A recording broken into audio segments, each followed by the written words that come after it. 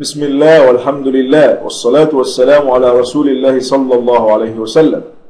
إن شاء الله اليوم يا شباب هنتكلم عن شابتر 10 أو الفصل العاشر من كتاب Fundamentals of Database Systems.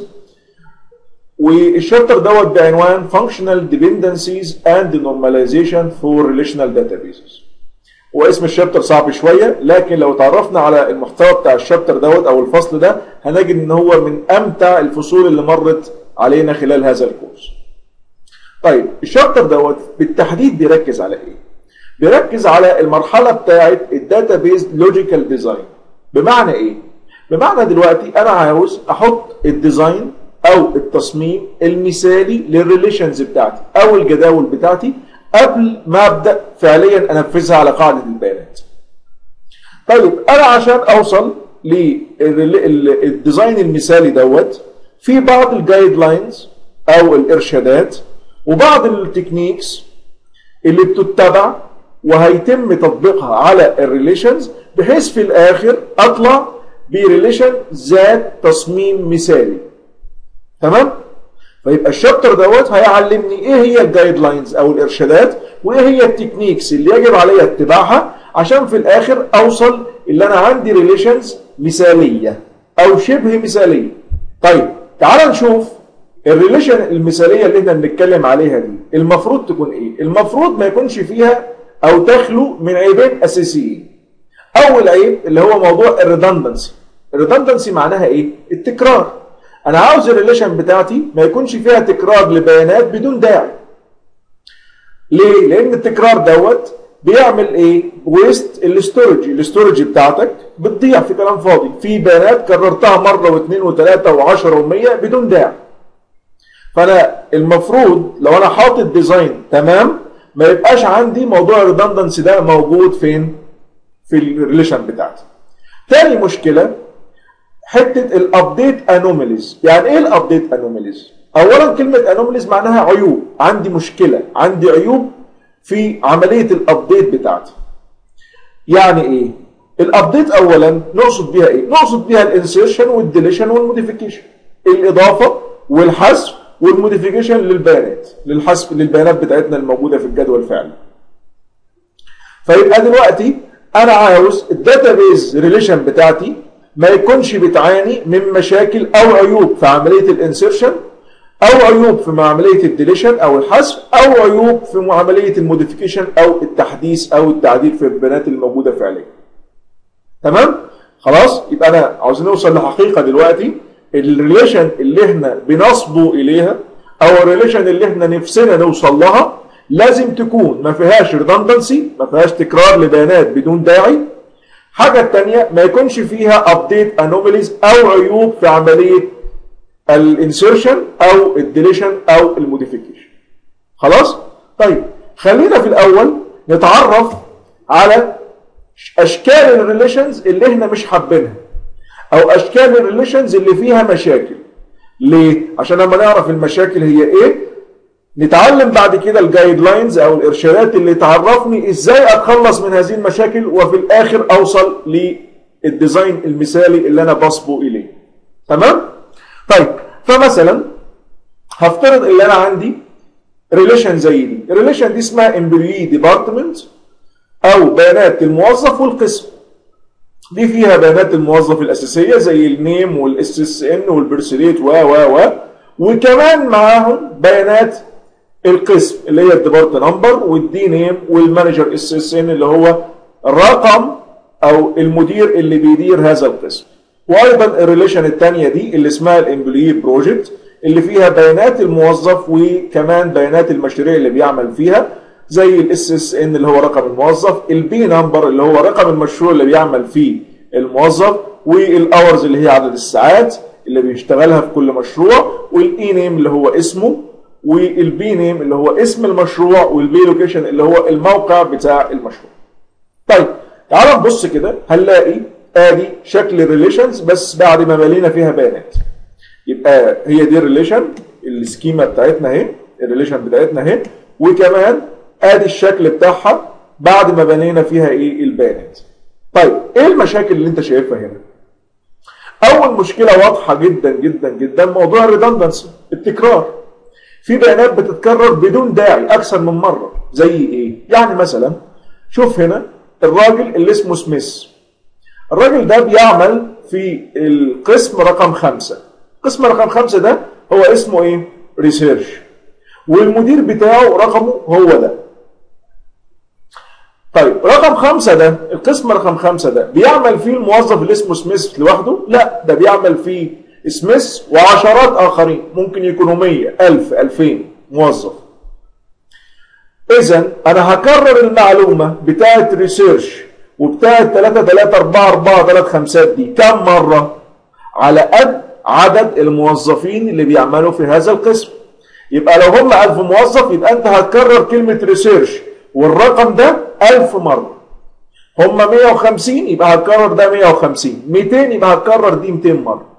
يبقى إذا معلومة زي دي ومعلومة زي دي اتكررت 2000 مرة بدون داعي. في حين إنه كان يكفيني إن أنا أذكر فقط رقم القسم. صح ولا لا؟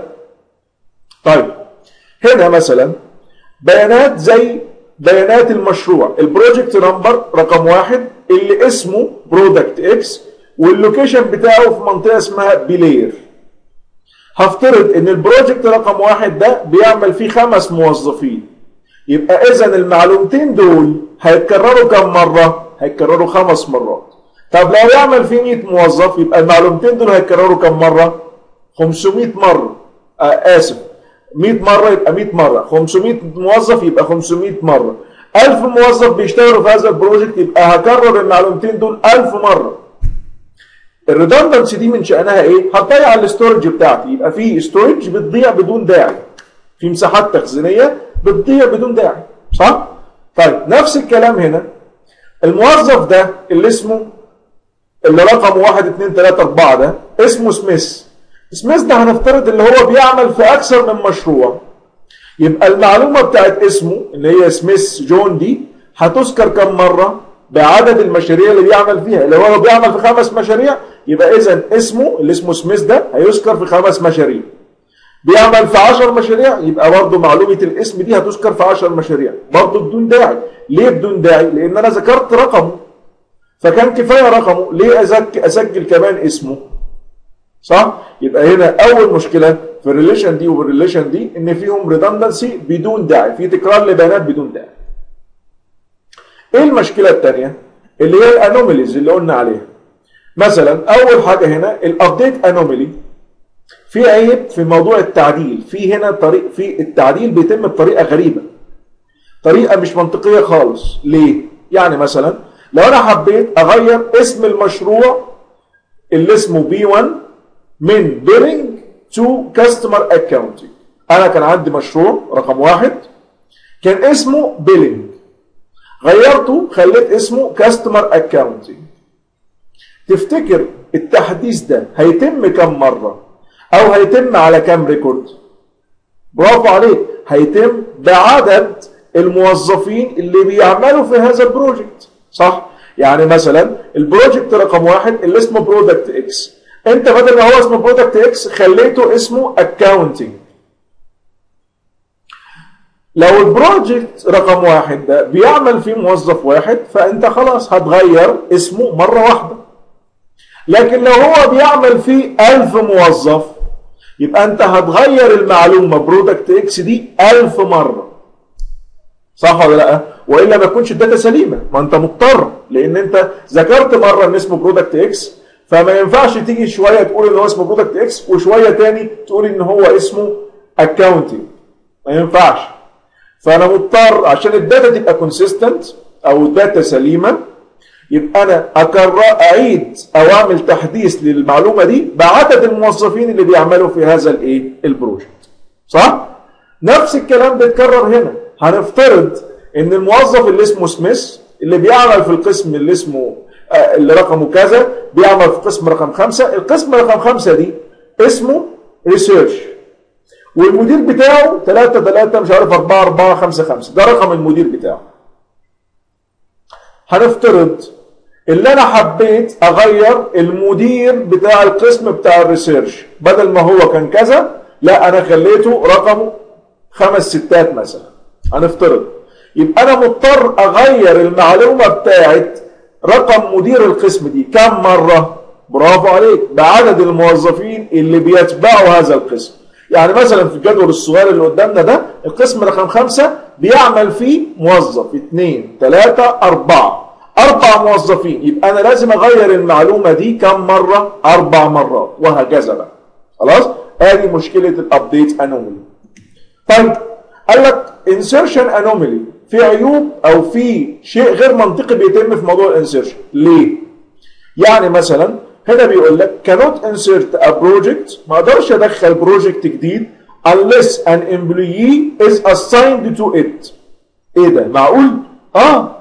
يعني أنا ما أقدرش أضيف project جديد عندي في البيانات بتاعتي إلا لما يكون في موظف شغال فيه.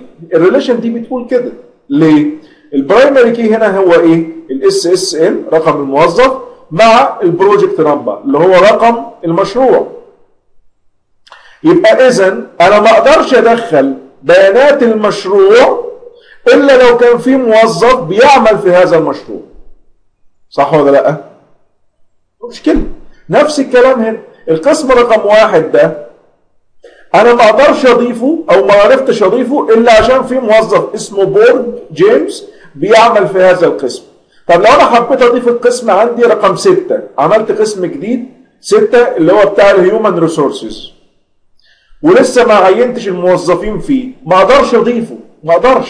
ليه؟ لأن هنا ما أقدرش أضيف بيانات قسم إلا لو كان في موظف بيعمل في هذا القسم. فدي اللي بيسموها ال insertion anomaly طيب ممكن يكون عندي deletion anomaly أو حذف. عندي عيب أو غير حاجة غير منطقية في موضوع الحذف إيه هي؟ بيقول لك مثلا لو أنا حبيت أحذف project معين ده معناه this it will result in deleting all the employees who work on that project. يعني إيه؟ يعني أنت لو جيت حبيت كده تحذف project معين هنفترض إن ال product X ده الشركة أغلقت هذا ال project. فعاوزه تحذفه ما تقدرش تحذفه إلا لو حذفت كل الموظفين اللي بيعملوا فيه. صح؟ يعني أنت ما أنت ذكرت المعلومة دي مثلا 100 مرة مع 100 موظف.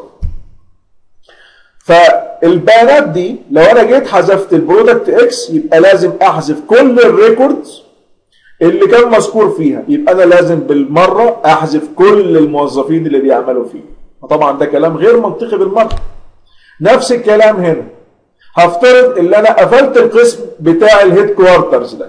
أغلقناه خلاص. ما عدناش نعمل شغل في الموضوع دوت فلغينا القسم ده من عندي.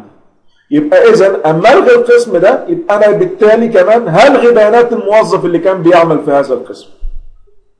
وبصورة عكسية لو أنا حبيت أحذف أو أمشي الموظف اللي اسمه بورج جيمس ده من عندي حبيت أحذفه من عندي أمشيه خلاص حذفته من ال database. يبقى أنا بالتالي هحذف القسم اللي اسمه headquarters لأني مشيت الموظف ده أو حذفت الموظف.